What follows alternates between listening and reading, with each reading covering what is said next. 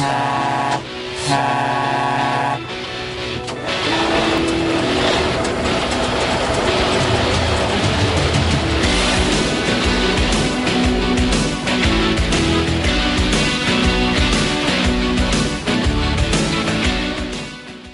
nuage est un bâtiment livré en 2014 par le designer et architecte Philippe Stark dans le nouveau quartier de Port-Marianne à Montpellier.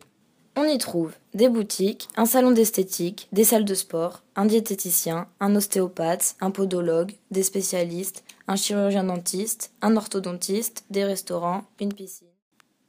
Le principe constructif est des plus simples. Un bloc en béton abrite les différents programmes et permet le maintien du bâtiment. Quatre passerelles sont maintenues en porte-à-faux par rapport à ce bloc. Des éléments métalliques permettent à la fois de tenir et relier l'enveloppe au noyau de béton.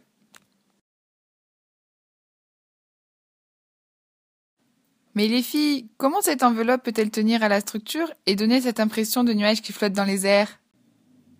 C'est très simple, je vais te montrer. Tout se passe au niveau des passerelles. Trois éléments sont boulonnés entre eux et fonctionnent en rotule. Ils relient les passerelles et l'enveloppe du bâtiment. Au bout de cette rotule se déploie une structure en poutre métallique. On dirait vraiment des bulles d'air. Oui, deux couches transparentes en plastique sérigraphié ultra fin sont pincées entre les deux poutres et sont maintenues tendues par un gonflement d'air pulsé à 700 bars. On voit aussi une poutre qui relie le mur à l'arête du toit et permet le contreventement du bâtiment, c'est-à-dire qu'il permet au bâtiment de résister aux forces qui pourraient le déstabiliser.